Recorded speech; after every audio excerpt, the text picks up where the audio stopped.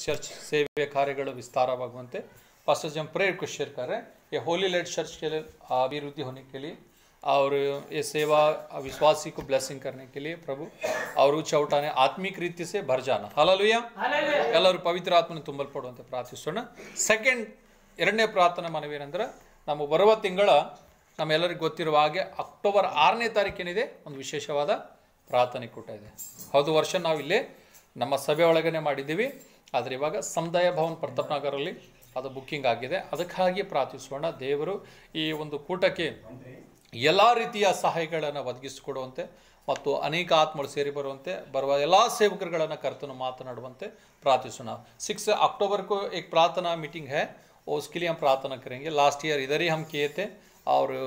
आज इस टाइम पे हम हॉल पे रख दिए आ- और परमेश्वर वो मीटिंग को ब्लेस करने के लिए हम आज प्रार्थना करेंगे जो भी मीटिंग का आ,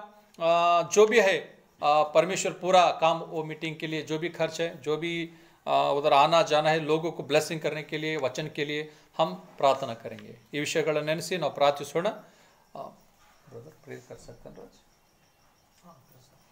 ओके ये दो ट- चर्च के लिए और मिनिस्ट्री के लिए और सिक्स अक्टूबर को मीटिंग है आ, प्रार्थना करना राज ब्रदर इस अ, चर्च के लिए चर्च के बढ़ने के लिए, लोगों को ब्लेसिंग के लिए। और सेकेंड थिंग से अक्टूबर छः तारीख को मीटिंग है, उसके लिए प्रार्थना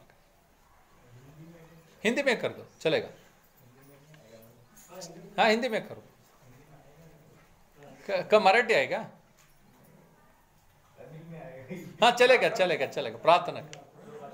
जो जिस भाषा है, उसमें प्रार्थना करो।